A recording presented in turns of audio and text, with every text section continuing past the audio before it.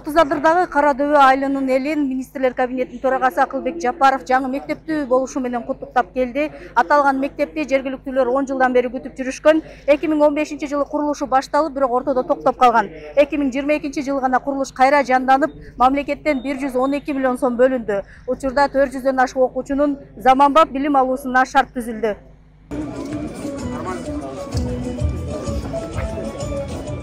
баарыңыздарды президентибиз урматтуу садыр нуркожоевичтин атынан министрлер кабинетинин атынан дагы жаңы мектептүү болушуңуздар менен чын дилимден куттуктап коюуга уруксат этиңиздер ачылуу аземине катышкан акылбек жапаров республика боюнча ушул сыяктуу курулушу башталып бирок ортодо токтоп калган мектептердин сексен пайызы бүткөнүн билдирди. Өлкөбүздүн экономикасынын өсүшү бардык тармактарда алдыга жылууларга өбөлгө болуп анын ичинде билим берүү тармагына өзгөчө көңүл бурулуп жатат. Акыркы үч жылда эки жүз он төрт мектеп пайдаланууга берилди.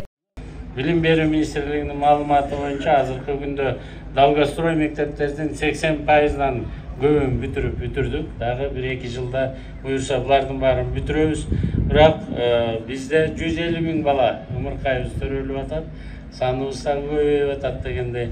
Аларга дагы жылына жок дегенде жыйырма беш отуз школ жаңы куруп турбасак жетишпей калышыбыз мүмкүн мамасалы тишебаев атындагы мектеп менен бирге акылбек жапаров дагы заманбап эки мектепти онлайн ачты булакат районуна караштуу маданият айылындагы эки жүз жыйырма беш орундуу мектеп имараттарын ачууга уруксат сурайм. Уруксат уруксат ача берсеңиздер болот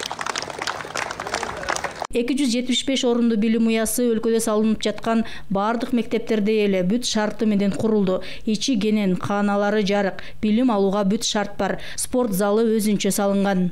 Окуп атабыз эмгек канасы бар кыздар үчүн. Балдар балдар канасы бар эмгек канасы баардык шарты менен буюрса баардыгы иштеше эле керек бизден. Ошол.